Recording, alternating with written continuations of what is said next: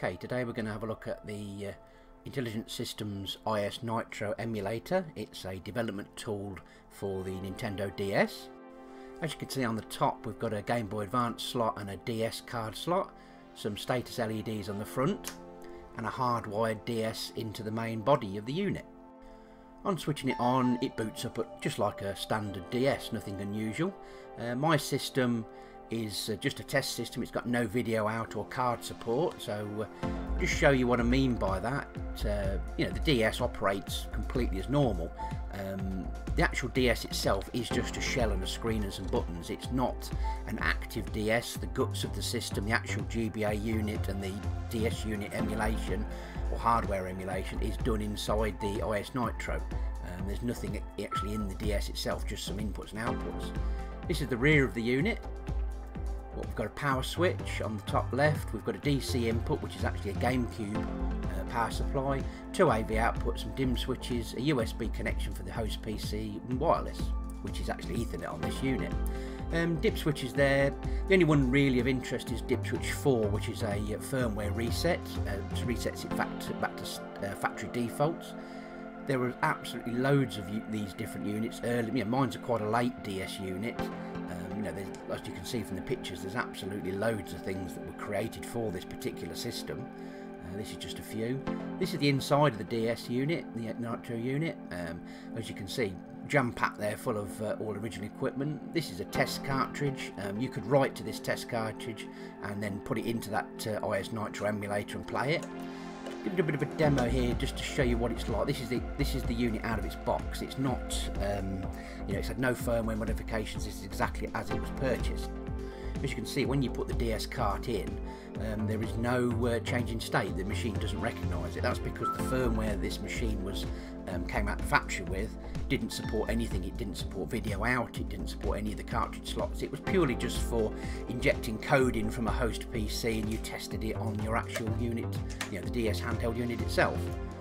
Um, the DS card is a bit different. Nobody has really hacked the uh, DS card side of it. Just the uh, um, GBA side and the video output. So this little bit of a tutorial just goes through what I did to uh, set it up. Um, you install the IS Nitro software, you find this folder which has got that IS Nitro.dll in it. Um, you extract that and uh, patch it, which then obviously changes the machine's characteristics. Um, you can, you know, I wouldn't delete the original code, the original uh, DLL, um, just replace it with uh, your patched one from the instructions on that website and um, what it does is basically now enables the uh, video output uh, and enables the um, uh, the Game Boy Advance uh, card slot. Uh, just makes the system a little bit more usable. So what I'm actually doing here um, is actually installing the um, IS Nitro software, which that then installs the drivers. Um, I've already patched the um, IS Nitro DLL on this. So what's going to happen as soon as I've uh, installed the drivers, the and turn on the IS Nitro, the PC, it's an XP uh, PC, PC is going to recognise the uh, IS Nitro and it's going to um, ask for a, a, firmware update on the unit. When it does that firmware update, it's going to uh, load in that new uh, modified um, patched unit, which is then going to enable mine to uh, opens up my system a little bit. It's you know it's, it's a bit rigid when you can't actually see anything on the on the TV screen or or play any GBA stuff. It just opens the system up a little bit. So obviously that's the code that's been injected. We've rebooted it, and as you can see now I've got a GBA icon, and it works. So that's basically you know the easy way. It's very easy. It, literally took about 15 minutes to load that bit of code in, which I thought was quite impressive. It's uh, some great work done by the uh, community on this one. Um, unfortunately, I don't think they've cracked the DS card slot yet, so you can't um, you can't play retail games in the DS card slot. Obviously, it was it can only use the development card. Uh, um, you know, for loading games in from that perspective, um, or you know, you can actually you can inject um, games into it uh, through the PC, which we'll see a little bit later, but this is obviously just a bit of a demo showing that the GBA now works perfectly, which is a bit of a cool, uh, cool thing and makes this machine a whole lot more usable. A little bit of Wolfenstein here, just to have a quick play out. Right now, um, I'm going to be, as you can see in the in the right hand side of this video, you can see that I've got, I'm actually capturing this, so that shows that I'm actually output the uh, the IS Nitro is actually outputting uh, video now, which is cool. Um, so what I'm doing is, is sending code from this uh, PC using the IS Nitro debugger software, and I'm sending encrypted ROMs to the actual IS Nitro. Now, an interesting fact, most of the ROMs that you download off sites and stuff like that come decrypted to allow them to work on you know, these cards, that, you know, like the DS1i card that I used to have back in the day. Um, this machine obviously can't do that, so you need to run a piece of software which is readily available. You know, Google it. It's not. It's not um, hard to find. You, there's a bit of software that you'd use to re-encrypt the ROMs then you can the uh, you, you, rename them so that the uh, you rename them NDS.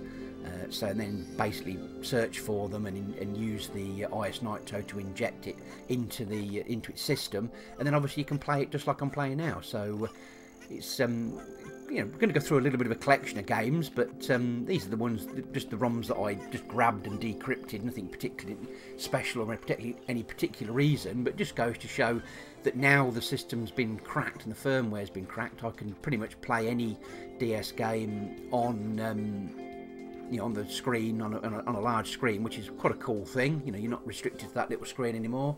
Uh, a bit of Metal Slug, why not? You know, Metal Slug's one of my all-time favourites. I do own all of the um, Neo Geos and um, even the Neo Geo X and all you know the port little portable thing they made. Um, might be doing a video on that later on, but um, you know, obviously classic, really really cool game. So I can't uh, can't get enough of Metal Slug. There's just uh, it can't be enough on enough systems if you ask me. But well, I'll cover that on another video maybe later on. I am getting tempted by there seems to be a lot of interest around the Neo Geo, probably considering um, there's a flash card being um, released, which is like you know the holy grail and hen's teeth to get. but it is uh, it does look a cool bit of kit, the SD loader. But that's for another day. Um, Bomberman, you know, cracking Bomberman. Um, you know, who doesn't like Bomberman? I think my favourite version, Saturn Bomberman. I don't know why, um, but um, just wanted to show this one up and running, just to show that you know there aren't many ROMs that don't work on this. Um, it is a cool little feature. It, it, it makes the machine more accessible from a home use perspective. Um, so. Uh, Yep, that's the IS Nitro and me loading in the patch to actually get it to work. These are the websites that I used to um, get the system patched and up and running and did a bit of research on and got it all working. So really pleased I've got it. So uh, thanks for watching this video and uh, we'll see you again next time. Bye for now.